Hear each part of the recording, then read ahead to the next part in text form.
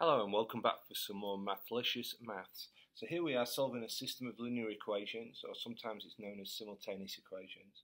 And first of all, we're going to try um, the technique of doing it by substitution. This is the first one, so this is why it's labelled A, the examples that we're doing.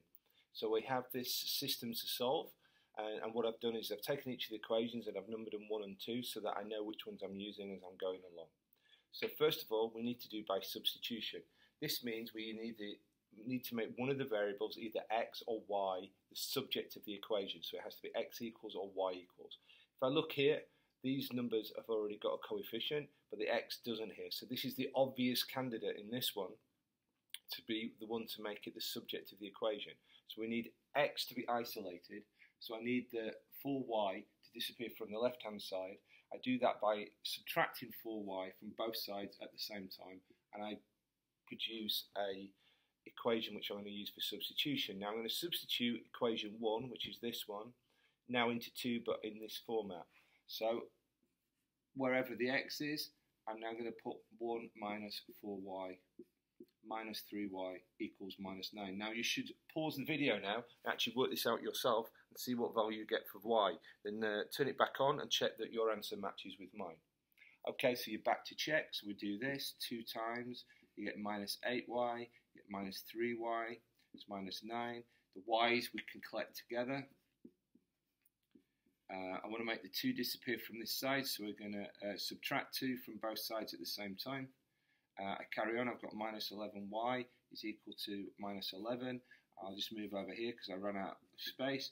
I'm going to show that I'm going to divide minus 11 by the minus 11 and then I'm going to end up with the value of 1. Okay, and you're very excited because you've got an answer. But obviously, we also want to work out x. So make sure you've copied this down, or you'll have to come back afterwards to finish copying it, because I'm going to swap the board around. So now we've found out that y is 1. That's very good. Now I'm actually going to go back and use equation 1. I could have used the equation 2, um, and I always write the equation in the format it originally started in, in case I made any errors earlier, which I did not spot, and this could maybe help me spot them. So obviously we put the y in, and you should be able to work all this out without me, so that's going to x plus 4, x minus 4, both sides same time, and you end up with um, minus 3.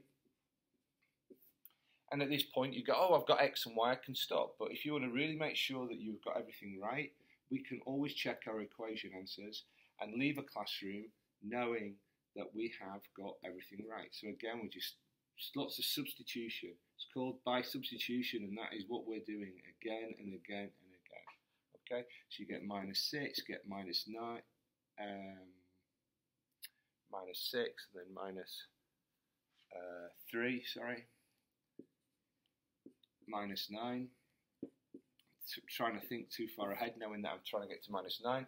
What type of statement is this? Yeah, you should be saying it's a true statement, but what does that true statement mean? Well, when you're checking an answer, if you get the true statement, it is it means that you found out that 1 minus 3 is the solution. And that's how you do it by substitution. Now, I could have depending on which one you're using, one or two. Like for here, I could have used this one It's two in, in here and worked out the x value, but then when I'm checking, I would have used this equation to do the checking part.